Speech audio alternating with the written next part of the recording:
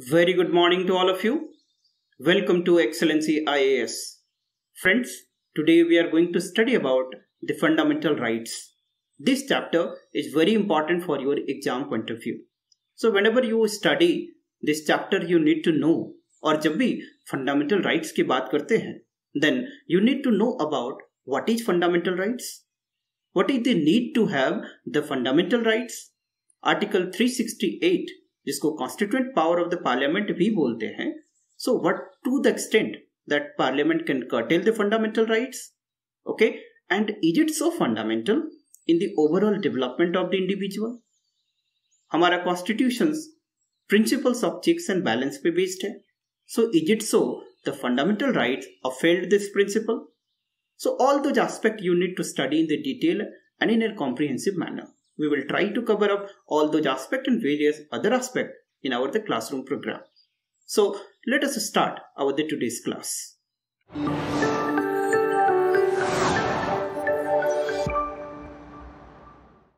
So friend, the very first concept you need to know that what is fundamental rights. So fundamental right, the first point you need to remember is these are the claims against the arbitrary actions of the states.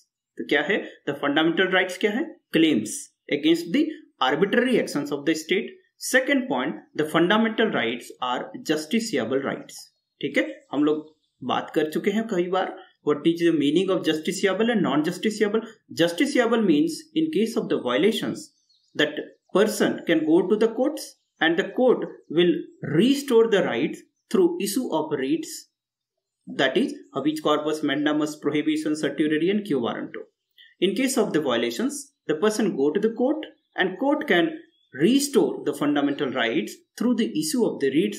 These are the habeas corpus, mandamus, prohibition, certiorari and quo warranto. ये writs के नाम हैं हम लोग इसके बारे में भी डिटेल में पढ़ेंगे Second point is that the fundamental rights are mentioned in part third of the constitution.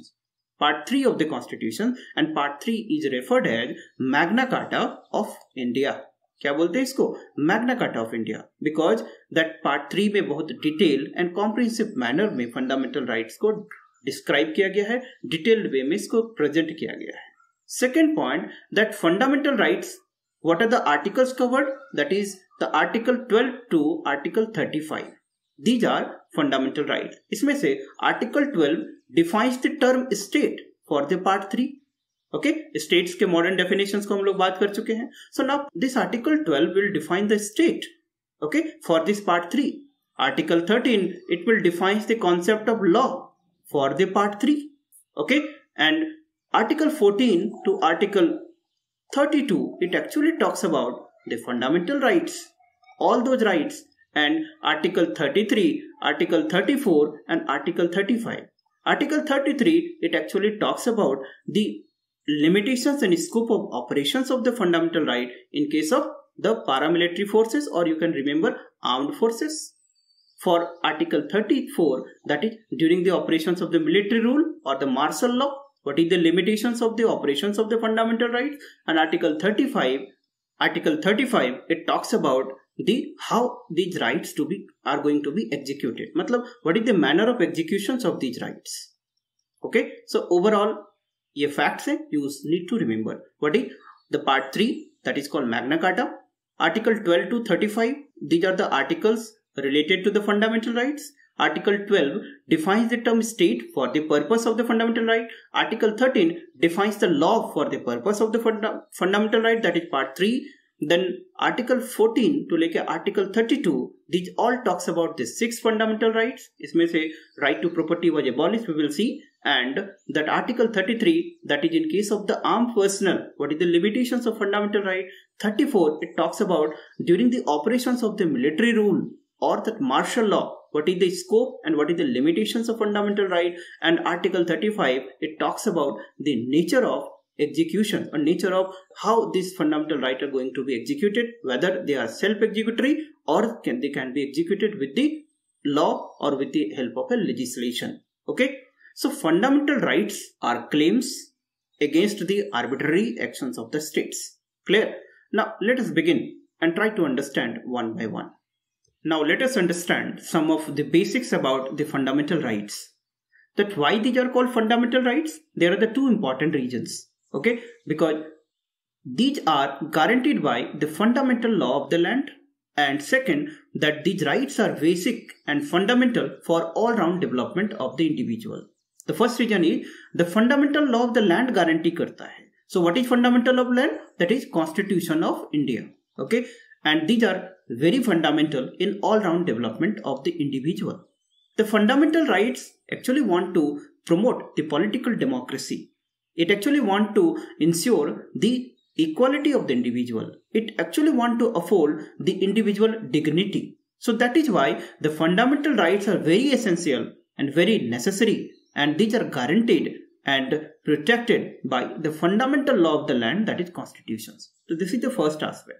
Now ये fundamental rights the constitution of USA में बिल ऑफ़ राइट से डिराइव किया गया है। So what is the source from the fundamental rights is borrowed it is the bill of rights of USA and third aspect friend that in Britain जो कि constitution की supremacy नहीं है, क्या है supremacy parliament is a sovereign so thereby वहाँ पर fundamental law of the land constitution नहीं है। So that is why there is no fundamental rights so that is why in Britain में याद रखिए that constitution is not fundamental not fundamental law of the land the constitution is not the supreme so thereby the set of rights are not called fundamental rights now fundamental rights also want to uphold the rule of law हम लोग पढ़ेंगे कि rule of law the concept of AV Dicey so concept of AV डाइसिस of rule of law जिसमें तीन points की बात करेंगे वो. So through the fundamental rights the government of law को स्टैब्लिश करने की बात की जाती है okay it actually want to sir the rule of law so rule of law is basically the concept given by the A V Dicey a British jurist इसमें तीन important concept की बात करी की गई है। The first one the absence of arbitrariness second is equality before the law and third that constitution is the result of individual rights what is the constitution is the result of individual right इसको हम लोग बाद में भी पढ़ेंगे okay okay? सो so, ये जो third aspect है that constitution is the result of all the individual rights ये हम लोग इंडियन कॉन्स्टिट्यूशन में इनकॉर्पोरेट नहीं किया गया है। Rather constitution is the source of the rights of the individual ये हमारा इंडियन कॉन्स्टिट्यूशन प्रोवाइड करता है so what is the ultimate source of right? It is the constitution of india okay? Now the, these are the four important aspects you need to know. First, it is why it is called fundamental right. Second, that from the Bill of Rights it is the borrowed. In Britain के context में क्या status है and actually the fundamental right want to establish a rule of law that is government by the laws and not the government by the man. Okay, it want to establish a limited government.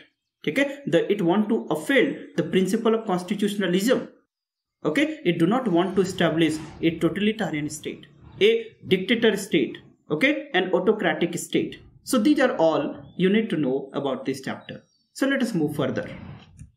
All these you need to read from this textbook and from the text line and also from your own textbook that is Laxmikanth textbook. Okay, all are written here. Originally, हमारे constitutions made. कितने fundamental rights थे seven fundamental rights थे okay that is fourteen to article उसमें से there was a right that is called right to property that is article number thirty one and that was abolished इसको abolish कर दिया गया है and it was made a legal rights क्या बना दिया गया इसको? A legal rights under article 300 A so in a nutshell what we can say that अभी कितने फंडामेंटल राइट्स है? They are the six fundamental right that is right to equality right to freedom right against exploitation the right to freedom of religion, cultural and educational rights, and right to constitutional remedy. इसको आप याद रखना. Okay, word by word you need to remember. So these are the six fundamental rights we currently have. And the Article 31 which provided for right to property, it was abolished through the 44th Constitutional Amendment Act. ये भी आप याद रखिएगा. And when it was done? 1978. And it was made a legal right under Article 300A. So दोस्तों we are wrapping our the class here. So today is an introduction class and we have studied the basic definitions of the fundamental right. It is called the Magna Carta and it is enshrined in the part 3 of the constitutions. Article number 12 से लेकर 35 तक fundamental rights से related provisions हैं in our constitutions. we have studied the some basic terms like what is the meaning of justiciable, non-justiciable, what is the legal uh, rights, what is the difference between with the fundamental rights, and Supreme Court is called the guarantor and the protector of the fundamental rights. Okay, so all those things you keep in mind. In the next lecture, the next class would be a little bit uh, longer and that is around the half an hour period. So friend, basic thing with respect to the preparations of the civil service exam is the persistence and the determinations. Okay, so friend, revise your previous class. So last but not the least, you stay safe, stay healthy. We again meet with the next class. So thanks. Have a nice day.